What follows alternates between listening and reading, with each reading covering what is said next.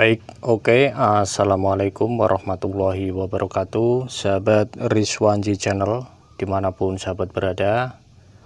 Alhamdulillah pada kesempatan siang ini sahabat, saya masih bisa memberikan informasi lagi terkait dengan mesin diesel sahabat ya. Jadi di konten kali ini saya akan membahas seputar tata letak dari noken as mesin diesel S1115 sahabat ya. Atau ini 26 horsepower sahabat. Jadi bagi sahabat yang belum subscribe channel ini silahkan di subscribe dulu channel ini. Dan jangan lupa untuk selalu menyalakan tombol loncengnya sahabat. Supaya saat channel ini mengupload video sahabat adalah orang yang pertama mendapatkan notifikasi video terbaru dari channel ini sahabat. Oke jadi ini masih ada kelanjutan dari video yang noken as yang dulu pernah saya upload sahabat ya. Dan sekarang saya akan menunjukkan tata letak di mana noken as mesin diesel ini berada sahabat. Jadi ini saya videokan dari sisi sebelah kiri mesin diesel sahabat ya. Ini sisi sebelah kiri. Ini diesel 26 HP atau horsepower sahabat ya jadi di sini ada cover atau tutup gear sahabat ya. Nah ini sahabat bisa copot dulu karena tempat noken as berada itu ada di sebelah sini sahabat. Di dalam sini sahabat ya. Jadi setelah ini kita copot atau kita bongkar sahabat. Ini kita bongkar sahabat ya beserta uh, selang ini.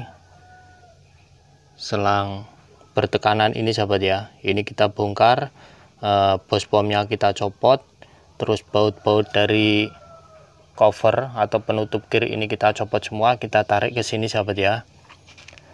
Lalu setelah kita tarik maka kita akan melihat bagian gear gear yang ada di sebelah sini sahabat ya. Itu adalah gear yang menyatu dengan noken A sahabat Nah, biasanya gear itu bertempat di sebelah sini sahabat, paling pojok sini sahabat ya.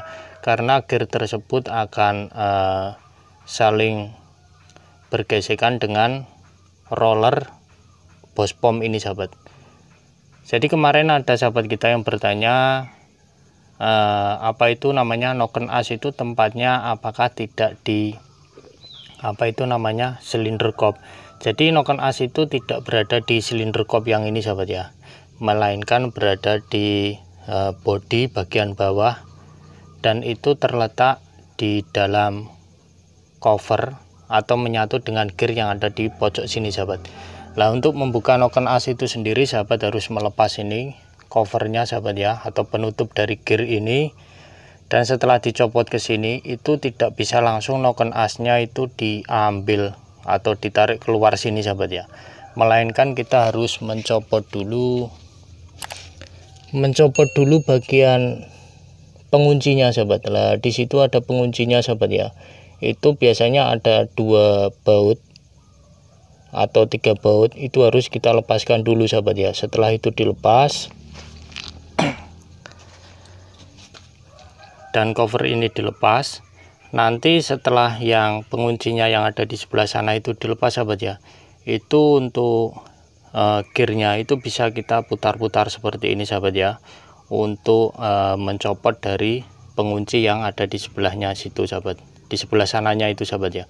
Nah yang ada di sebelah sini bisa kita putar seperti ini sambil kita tarik sambil diputar. Kalau memang biasanya sulit itu sahabat ya. Kalau memang biasanya sulit ditarik itu biasanya di sebelah kanan atau penguncinya itu e, bermacam-macam sahabat. Jadi ada yang bisa diputar langsung ditarik bisa keluar dan ada yang perlu dipukul juga sahabat. Jadi noken as mesin diesel ini penguncinya berbeda-beda sahabat. Nah dan ini adalah noken as yang sudah aus punya saya sahabat ya. Jadi di sini tampak sekali bahwa noken as ini sudah aus sahabat ya di bagian ininya. Dan ada sedikit goresan juga. Dan ada cowakannya sahabat. Nah jadi di sini apabila noken as ini dipakai maka suaranya akan cukup berisik sahabat. Nah ini adalah bagian atau pengunci yang saya maksud sahabat. Jadi posisinya itu seperti ini sahabat ya. Kalau kita masukkan dari sini seperti ini jadi kalau kita masukkan noken asnya itu posisinya seperti ini sahabat. Jadi di sini sahabat ya. Nah kita masukkan ke sana. Terus penguncinya itu seperti ini sahabat. Nah jadi seperti ini sahabat ya. Ini ada cowakan sahabat ya yang melingkari dari ujung noken as ini. Dan ini terkunci oleh penutup yang saya maksud yang ada di samping sebelah kanan sini sahabat. Nah yang itu sahabat ya jadi posisinya seperti ini nyangkut.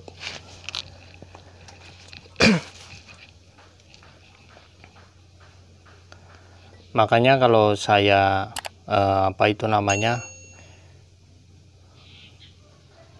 Makanya kalau ini kita tarik sahabat ya apabila untuk pengaitnya atau penguncinya yang ada di sebelah sana itu tidak kita lepaskan maka noken as ini juga tidak akan bisa kita tarik ke sisi sebelah kiri sini sahabat ya. Jadi seperti ini.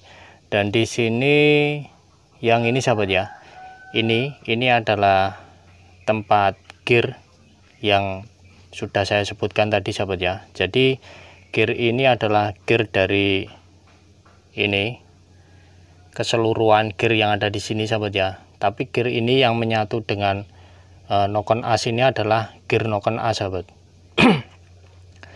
jadi gear ini juga yang nanti akan memutar noken as ini sehingga ini pemukulnya sahabat ya. Ini adalah pemukul dari roller bos pom ini sahabat ya. Jadi nanti kalau mesinnya berjalan atau berputar itu posisinya akan seperti ini sahabat. Lah mutar seperti ini sahabat ya. Dan roller dari ini dari bos pom ini nanti akan terbentur sama yang ini sahabat. Nah ini sahabat ya gini muter terus seperti ini. Dan untuk dua benjolan ini ini yang nanti akan uh, memukul memukul sini sahabat ya memukul piano atau rocker arm sahabat ya sehingga uh, katup hisap dan katup buangnya itu bisa tertutup dan terbuka. Jadi seperti ini sahabat ya.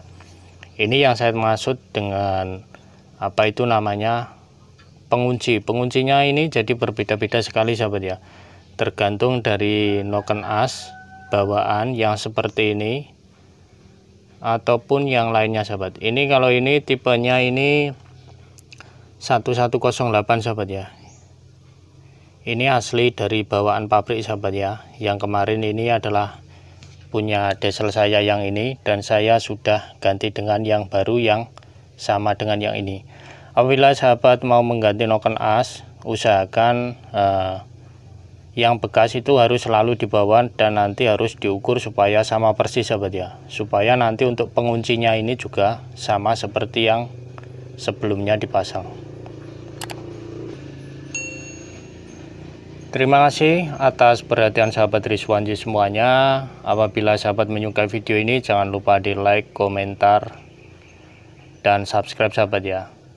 Jika ada salah kata dalam pengucapan maupun dalam penyampaian ataupun pengambilan video yang kurang berkenan, saya minta maaf yang sebesar-besarnya. Terima kasih. Wassalamualaikum warahmatullahi wabarakatuh. Rizwanji Channel. Ayo semangat berkarya lur.